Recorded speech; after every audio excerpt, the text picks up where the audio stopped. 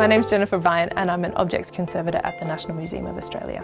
Conservation is a really interesting field because it draws upon all different kinds of knowledge. I like to think of it in terms of a Venn diagram where you have science, the arts and history and conservation sits right in the middle there providing a crossover of knowledge from those three disciplines and then we use our historical knowledge to help inform the decisions that we make around the treatment of our objects. I don't think there really is a typical day for an objects conservator. On one day we could be condition reporting, uh, photographing, documenting and treating a bark painting. On another day we might be installing play school in rural Australia. We actually are constantly out and about in the museum working on exhibitions, working on loans, preparing objects for the permanent galleries and doing all sorts of different things. When we receive a bark painting into the lab, the first thing that we do is we carry out a condition report, photography and documentation. Barks are a little bit of a, a tricky object actually, they're really exciting to work on.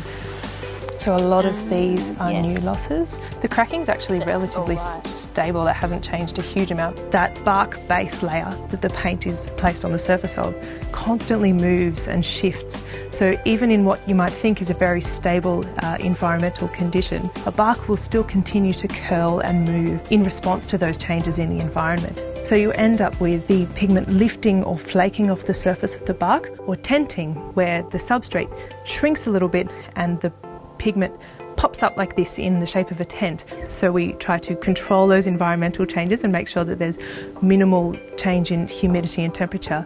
But we also carry um, out interventive treatments, which is where we might re-adhere those lifting um, paint flakes to make sure that we don't experience any more deterioration or loss of the surface of the paint.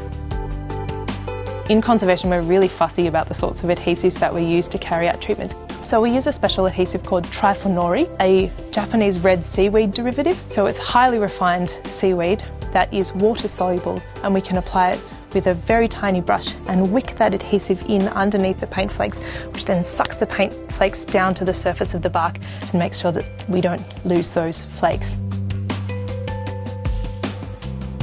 At the museum we have a method of mounting our barks on strapping frames so that the bark have little lips that it sits upon like this and it allows the bark just enough movement so that it can move and shift on display without um, contributing to any deterioration. But it also means that we can efficiently hang them on the wall or transport them for loan or exhibition without putting the barks at risk.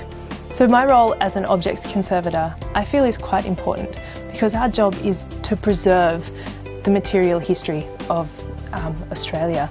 And at the National Museum, we're all about telling Australian stories and sharing our understanding of Australia. And we do that through preserving the objects that tell those stories.